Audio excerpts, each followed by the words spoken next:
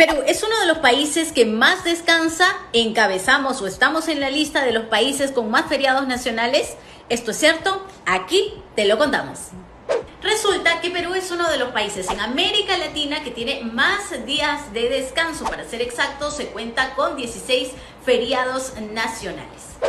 Entonces la pregunta es, ¿quiénes encabezan esta lista? ¿Qué países? El primero es Argentina, con 19 feriados nacionales. Le sigue Colombia con 18. En la lista también están Chile y Puerto Rico con 17. Y finalmente Bolivia con 16 feriados.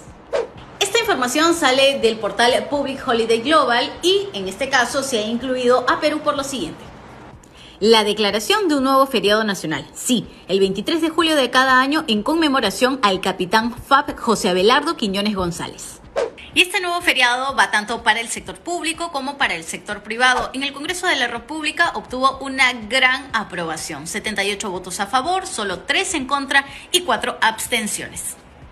En esta lista de 16 feriados nacionales ya se considera el 7 de junio para conmemorar el Día de la Batalla de Arica y el Día de la Bandera del Perú. Sin embargo, recién será efectivo el próximo año, en el 2024.